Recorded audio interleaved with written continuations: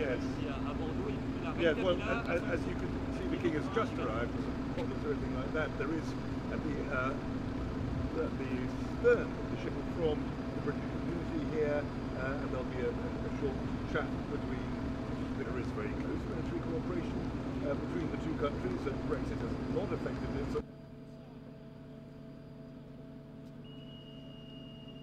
all here in Experimental Forest, really it's a university research centre where they are studying trees and the impact on around uh, the vineyard, around the, uh, the, the uh, cave, um, where